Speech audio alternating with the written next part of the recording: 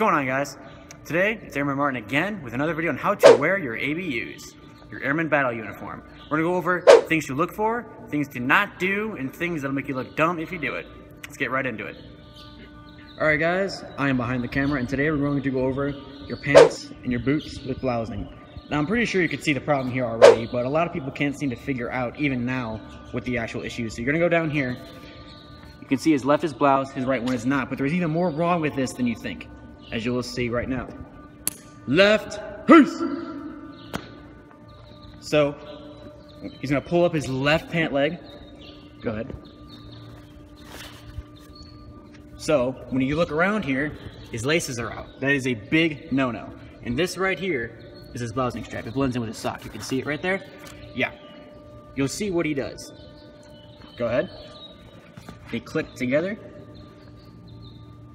Like so. God damn this thing. There you go. Click together, put your pants down, and you take it and stuff the slack inside.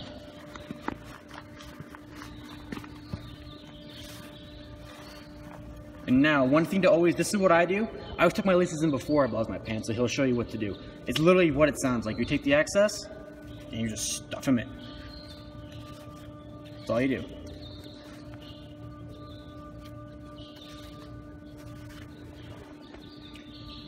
Looking much better. Flight tension. Hut. Even though it's for demonstration purposes, it looks much better as it is now.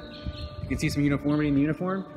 Alright, so that is your blousing your pants and your boots. Next, we're going to cover the ABU top. Now, we're to go over the ABU top.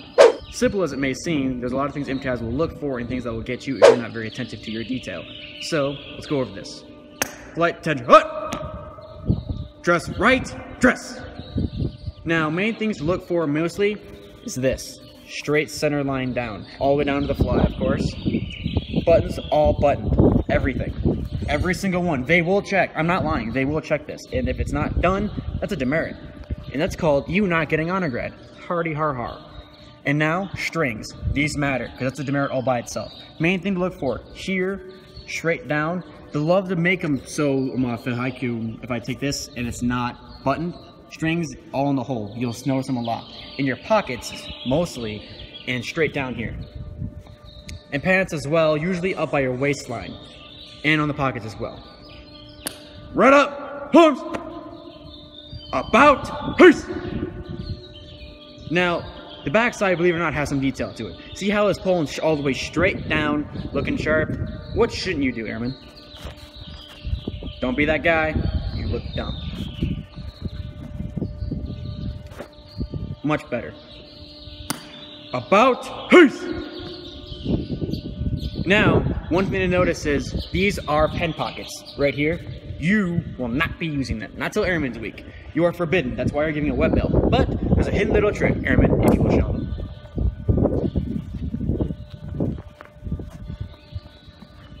Haha. -ha. Beautiful pen pocket right there. It's gorgeous, really. MTIs will not check that because they can't touch you. Believe it or not, your MTIs will not have physical contact with you at any time.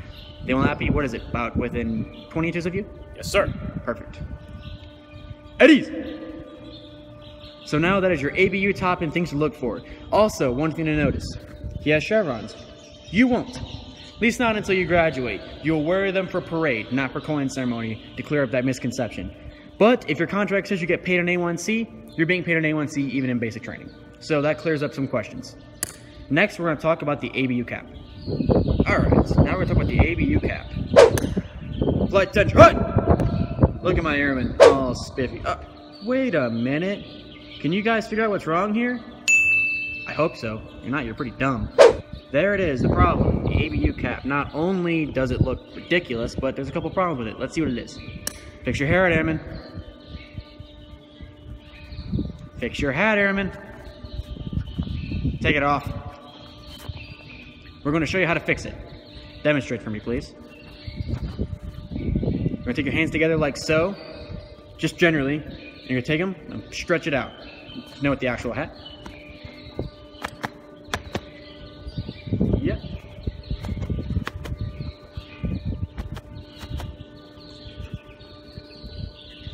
Crease it in together. This is small attention to detail that you actually really love during your time in basic. One thing to notice, it's a tip from us both, that only wear one cap in basic training. Only wear one. Your other one will be called your tuxedo hat. Never touch it. It'll look perfect during coin ceremony when you first see your family. And they will be impressed, I promise you. That is how you wear an ABU cap. Straight blind. It's perfect. Very good. And one thing to touch on real quick, you see how much like you would guess his name tapes? That is also one thing to look for in uniform for strings. I forgot to mention that.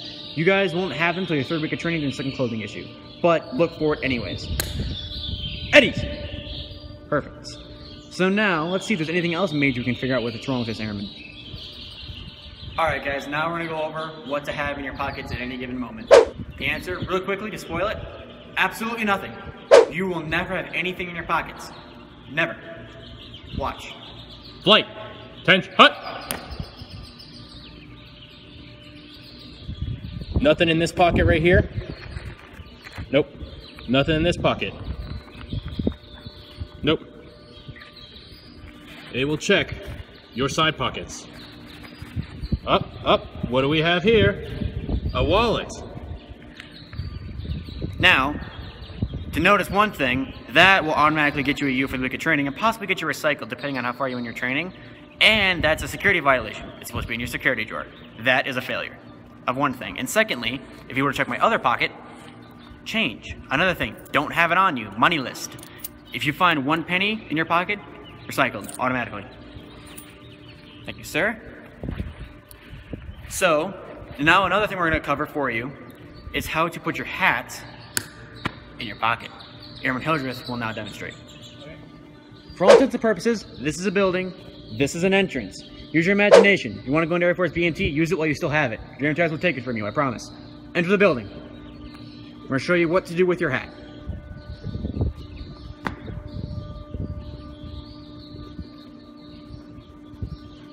It always goes in one of your cargo pockets. Always. Then you proceed. Oh crap, you gotta leave.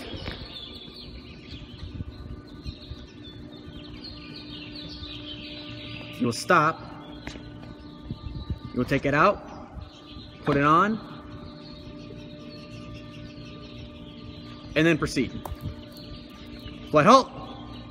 About haste. One thing to notice, or one thing to know more than anything, is that I see, saw this all the time in basic when I actually progressed in my weeks because you will notice that when you get into about your fifth, sixth week of training, you're grandpa flight. You're old. You know what you're doing. Other flights don't.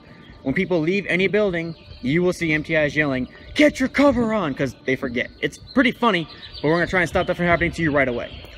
Whenever you leave a building, cap on. You are not in a building or an overhead at any time. For demo potential purposes, demonstrate again. Walk through. Once you get good, you can walk and do it. You got places to be. You got somewhere. You got something to do. Perfect. Flight. Oh, there you go. perfect.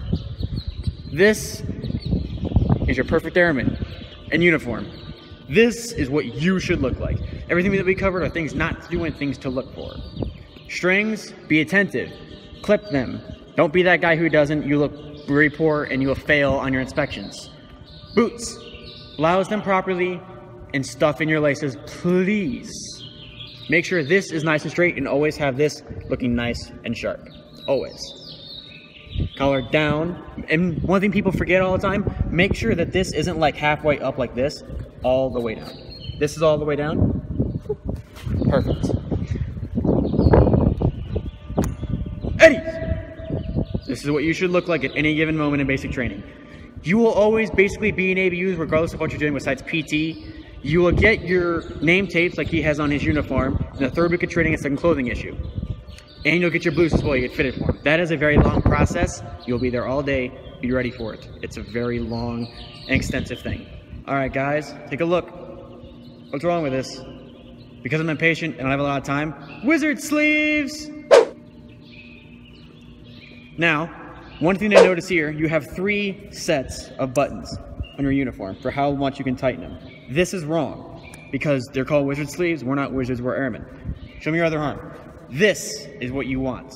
Your MTIs don't want you to be individual. Everyone must look the same. You have no personality. All the way buttoned. Also, a thing to notice, this is a great place for strings. Clip them. What I would do is we suggest buy scissors, like small scissors. He can actually show you right now. See. Perfect. Ching ching. Perfect thing to have. Nail clippers are okay, but they're, they're known for like having to tug. These will just get rid of them right away. They're perfect. They got us through basic training. That's what I did.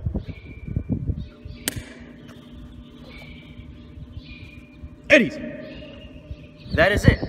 We covered everything that we wanted you to know for your ABUs because this is what you will be wearing basically 9.9 times out of 10.